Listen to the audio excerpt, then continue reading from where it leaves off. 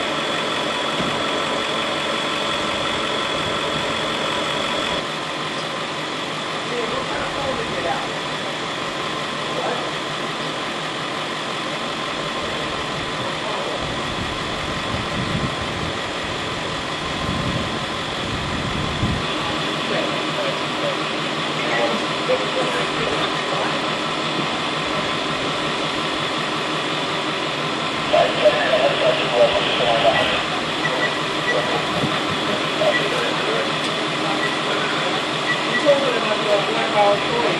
But it happened in the bush, Yeah, I